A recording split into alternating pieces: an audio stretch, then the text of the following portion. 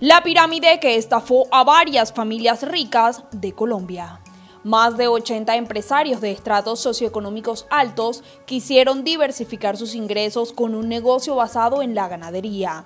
Para esto le entregaron su dinero a Felipe Rocha, un prestigioso empresario conocido en este sector, quien les habría prometido rendimientos de hasta 40% por sus inversiones. Pero el negocio no terminó siendo lo que esperaban, pues lejos de ser un fondo ganadero que les daría muchos ingresos, lo que se habría consolidado era una pirámide que dejó más de 70 mil millones de pesos en pérdidas.